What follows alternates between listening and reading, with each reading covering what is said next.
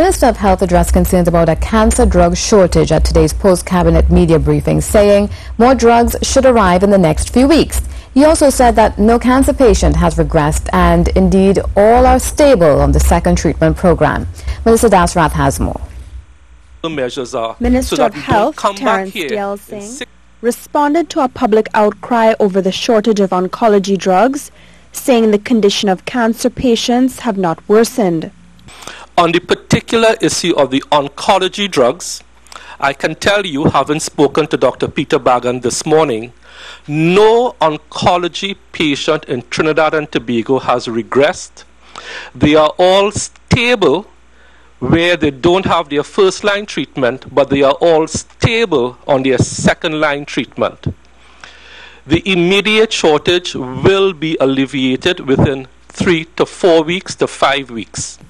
Minister Deyalsingh blames the shortage on a problem with the ministry's supply chain management capabilities and admits that there must be a better system in place for forecasting, budgeting, and monitoring supplier contracts. But he assured that every effort has been made to ensure a regular supply of drugs to the public healthcare institutions, and it includes a 245 million injection.